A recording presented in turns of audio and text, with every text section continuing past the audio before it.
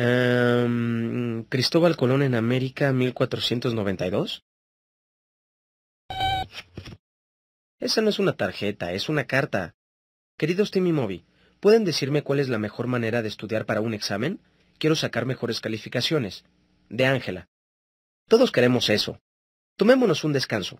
Es importante tomarse descansos cuando se está estudiando.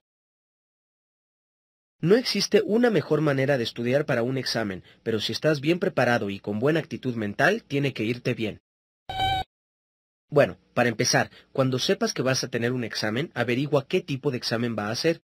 Saber si es un ensayo, si se trata de un examen de opción múltiple, de falso o verdadero, o alguna combinación de todos estos, te ayudará a saber qué esperar.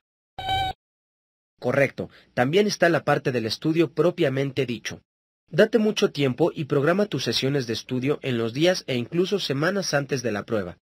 Estudiar todo el material la noche anterior solo te estresará y te agotará. Yo siempre uso el mismo sitio para estudiar. Es un escritorio grande en el sótano con bastante espacio para poner todas mis cosas y sin distracciones como la tele o el teléfono que me impidan aprender el material.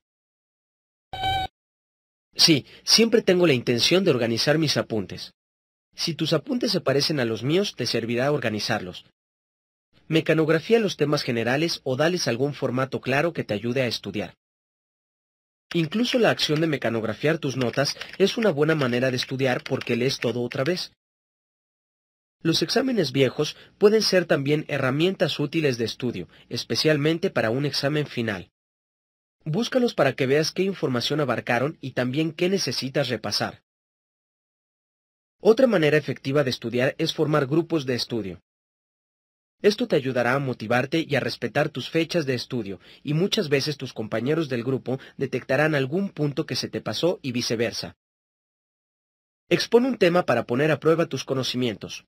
Si conoces el material tan bien que puedes exponerlo ante otros, entonces puedes estar seguro de que te va a ir bien en el examen. Así que eso es estudiar, pero el estudio es solo parte de la ecuación. También debes asegurarte de que estés bien descansado y alerta para presentar el examen. Si tienes una actitud mental correcta, recordarás mejor el material. Siempre es importante que comas bien, pero hazlo sobre todo la noche antes de un examen. Las comidas poco abundantes y las colaciones sanas te mantendrán energetizado y en óptimas condiciones. La cafeína y el azúcar te harán sentir excitado y muy nervioso y el sueño es muy importante. Estar bien descansado te ayudará a conservar la calma y la lucidez mientras presentas el examen. De hecho, a mí me gusta irme temprano a la cama antes de un examen.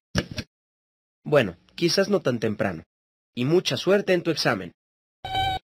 Vuelve a encender la luz. Tengo que estudiar.